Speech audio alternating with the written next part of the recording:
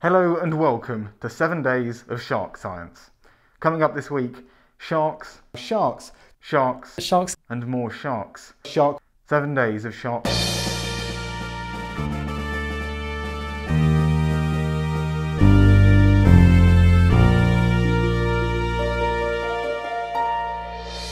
Starting off the news this week, the European Union has announced a wide range of proposals that aims to bring the bloc further towards its goal of being carbon neutral by the year 2050. Among other things, the proposals look to ban the sale of new petrol or diesel cars within the next two decades and add a tax on jet fuel.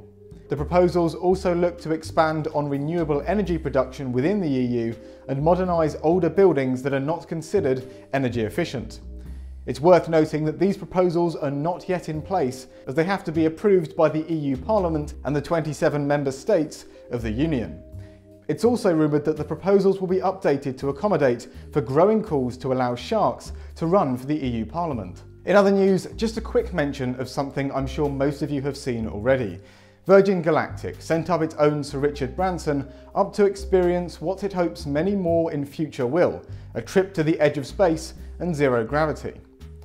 It's worth noting that the craft doesn't actually reach what is usually recognised as the beginning of space, 100,000 kilometres, instead falling just short of that. It's also rumoured that Virgin Galactic wants to test the craft with sharks just before accepting flights with a full set of human commercial passengers. And now for the shark news. With a recent study, not technically in the last seven days, but not long ago, investigating how abundant sharks were on coral reefs in the Caribbean before human impact, and finding some worrying results. Looking at shark scales or denticles from sediments in the Caribbean dating back to around 7,000 years ago and comparing them to denticles in modern sediments, they were able to see how the abundance and diversity of shark reef communities had changed from this time finding that the accumulation rates of the denticles, which represents shark abundance, has declined by 71% since this point in the mid-Holocene.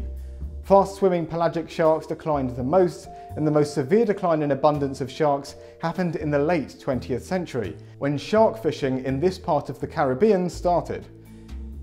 The study also finds that although overfishing is the primary cause of the decline, the decrease in abundance of species that have low commercial value also suggests that other factors could have made this decline worse. Some worrying news for sharks there then, we all know how important these animals are to conserve. And now over to Ben, who is a shark. Thanks, Doug. Now for a brief intermission from the shark science, as this week has also seen the discovery of a new species of Hadrosauroid dinosaur. Named Portellsaurus sosbaenii, this animal lived in the early Cretaceous and is based on an almost complete right dentary bone that was discovered in Spain, and displays many unique features that confirm this as a new taxon. Interestingly though, it turns out that Portellsaurus is more closely related to the African Ouranosaurus than its other Iberian relatives that lived at the same time. And the discovery of this species also demonstrates that the Iberian Peninsula was inhabited by a very diverse assemblage of this type of hadrosauriform during the early Cretaceous. And finally for this week is some more shark science that wasn't actually in the last 7 days, but it's close enough. A brilliant paper was published recently in which the social structure of bull sharks was investigated, discovering that certain individuals actually show preferred companionship with each other. The paper explains how wildlife tourism will often result in short-term aggregations of animals due to feeding events caused to try and attract them, but that this doesn't necessarily mean that the individuals interact and socialise with each other.